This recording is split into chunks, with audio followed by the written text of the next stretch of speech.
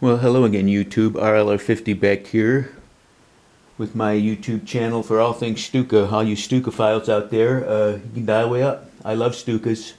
I've been obsessed with them ever since I was a little kid that I bought my first Stuka kit, which I believe was a Lindberg. So we're going over the new Junkers here from uh, Trumpeter, the D model, and it also has parts for the G model, which I've been waiting for for a long time. So we're going over it here with you. We'll start with some decals here. Very good. Seems to have everything. Swastikas diplomatically cut in half. You don't have to fool with those. All the stencils. And we got some nice photo etch there too. The photo etch is mostly for the uh, magazines for the cannons, the cannon pods, and they've got the gun sights and a few other little things there included. And a great set of instructions. Here we go. Let's go through those real quick here. Here we go.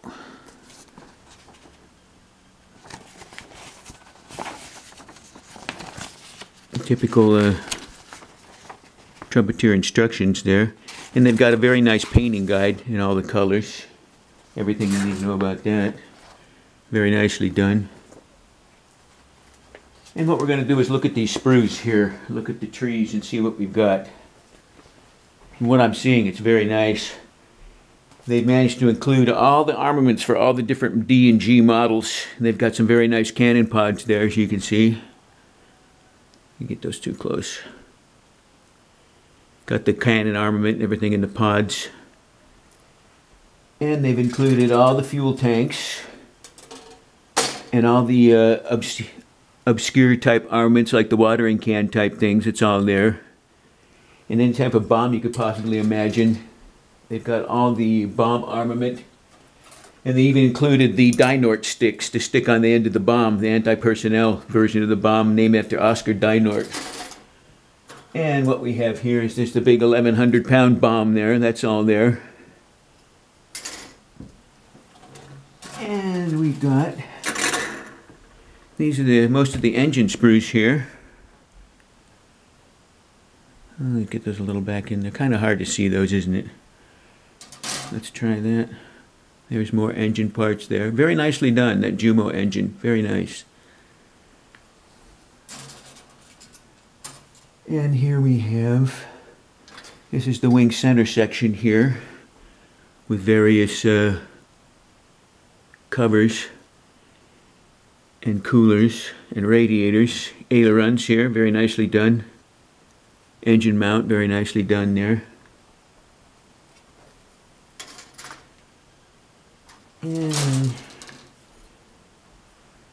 Here's our cannon barrels, and they're actually pretty nice. They're not too badly done. They're perfectly usable for you people who aren't too picky.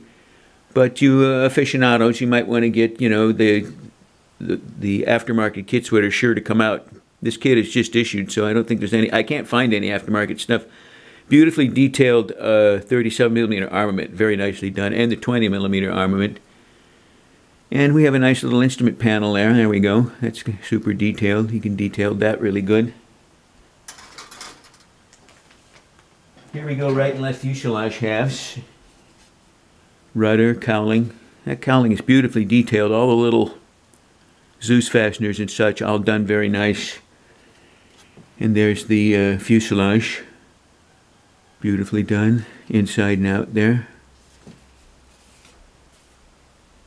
And what we have here, a lot of the internal stuff and coolers. We got the antenna mass. Here's the gun barrels at 20 millimeters, and the uh, for the MG81 twin armament. They've got wingtips to any Stuka version you might be thinking about. They've got the wingtips for it. The longer wingtip version on the cannons. Very nicely done too. And there we got the cockpit floor radio seat all those things. Seat post. There's a control stick there. Here we go with the firewall and beautifully done struts for you guys who don't want to use the wheel pants because a lot of these Stukas in the spring it would get real muddy and they'd have to take the wheel pants off gum the wheel so they just had those raw struts sticking out there look kind of spindly more engine parts here firewall very nicely done And what do we got here? We've got wheels. Nice rudder pedals there. Very, very, very good. Very nicely done there. And there's the internal wing structure to make it a little higher. The wings won't fall off when you glue them up. Here's our lower wing. Oop, there they go. Lower wing panels. Beautiful rivet detail. And they've got all the little pre-drilled holes here for any type of armament you want to stick on there. If you want to stick the cannon pods on, if you want to put the uh, watering cans on, it's all there for you. That's great that uh, Trumpeter included all that instead of uh, slow dancing with, uh, you know, you buy the next model, they reissue it or whatever. Here's the top. I hate that reissue nonsense. So Trumpeter is giving you everything you need to make any D or G model Stuka you want. And uh, this when I was a kid, this is what we used to dream about. I'm a Stuka fanatic. I just love Stukas, and uh, you guys can uh, chime in any way you like. I'm sure there's a lot of Stuka files out there just like me. But here it is, the, the one we've been waiting for, the D5. It's beautiful. I've got, uh, I, I would give it a strong A. Not an A+, plus, but a strong A. Oh, let me show you the uh, clear parts here real quick. This is the sprue they came on. Two of them did come off, but they're beautifully crystal clear. Very nicely done.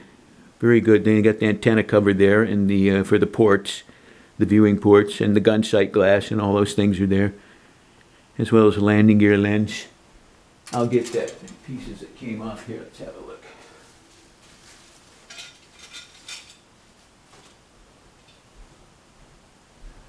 There's your front canopy there.